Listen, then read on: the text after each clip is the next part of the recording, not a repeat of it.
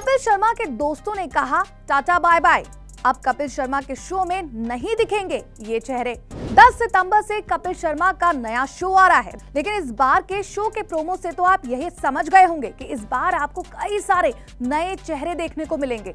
पुराने जो चेहरे थे, चाहे अगर बात करें भारती सिंह की, कृष्णा अभिषेक की या सुदेश लहरी की, सभी के अलग कारणों की वजह से उन्होंने शो से बैकआउट कर दिया है। शो छोड़कर चले गए हैं। अब एक और बड़ी खबर आ रही है, जिसके बाद से कपिल की मुसीबतें और बढ़ती जाएँगी और साथ ही जो नए चेहरे हैं, उन पर भी मुसीबत आ पड़ेगी कि अरे, अब हमें लोगों को दोगुना एंटरटेन करना पड़ेगा और वो नाम है चंदन प्रभाकर का।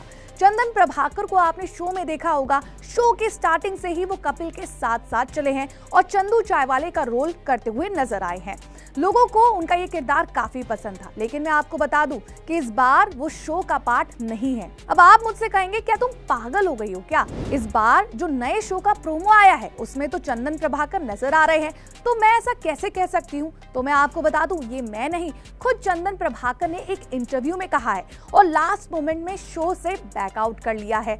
अब इसके पीछे क्या कारण है, ये तो नहीं पता, लेकिन हमें लग रहा है कि चंदन प्रभाकर अब अपने रोल से उब चुके हैं। वो कुछ और करना चाहते हैं और शायद उन्हें करने नहीं दिया जा रहा है।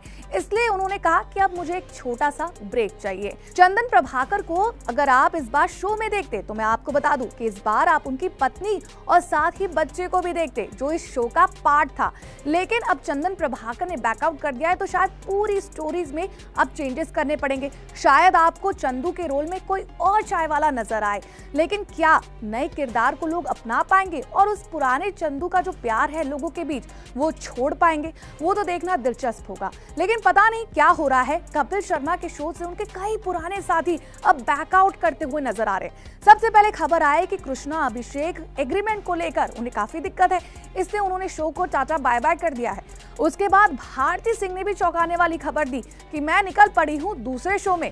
ये शो मैं नहीं करने वाली। उसके बाद सुदेश लहरी भी निकल पड़े। और अब चंदन प्रभाकर, जो कपिल शर्मा के पुराने साथी पुराने हमदर्द है, पुराने दोस्त है, वो भी शो को छोड़ कर जा रहे हैं। तो इससे तो ये लगता है कि कपिल शर्मा के स्टेज में जो कॉमेडी आप देखते हैं बैक स्टेज में काफ़ी अफरा तफरी मची हुई है।